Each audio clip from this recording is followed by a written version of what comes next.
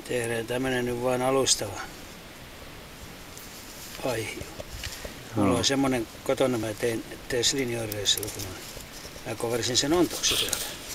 Just joo. Sitten se oli suorassa. Niin joo.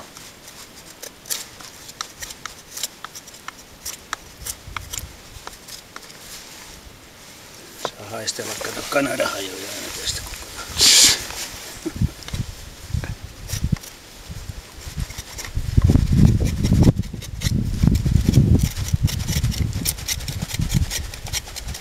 Pääsee takaisin palaamaan näihin tuskiin ja kärsimyksiin. joo, Lumisateeseen ja myrskyyn. kyllä. Joo. Vesisateeseen ja karhuihin. joo. Kauheita. Näytä sitä. No, Joo.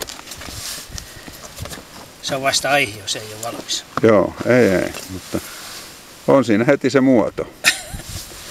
Joo,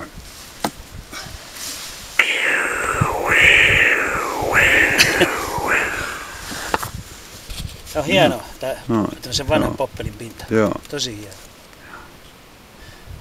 No niin, kahville.